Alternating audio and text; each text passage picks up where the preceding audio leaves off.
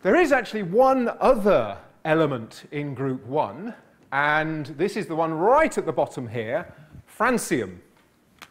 This is even bigger. So the heart of the uh, atom there, the nucleus there, is really rather large.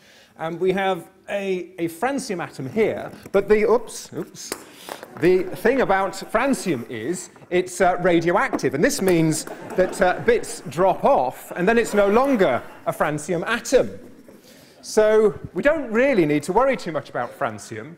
I couldn't have any francium here in the lecture theatre because it would disappear very quickly. In fact, if we did have a block, here's a block, look at that. So if we think that's one big block of francium here, look how big it is, well, it gradually decays. Now, we've set this up to decay at exactly the right rate. So if you look at the top, there we are, it's decaying away.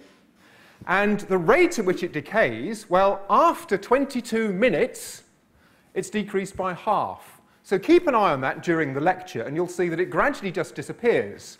So in 22 minutes' time, there's going to be half the amount that there is now. And 22 minutes after that, it's decreased by half again. Then 22 minutes after that, half again. And this is called the half-life. So francium has a half-life of 22 minutes. Okay, so we won't be doing any experiments with francium. And actually, it turns out that cesium is the most interesting element anyway. It's by far the most reactive. It's e it is actually even more reactive than francium would be. Okay?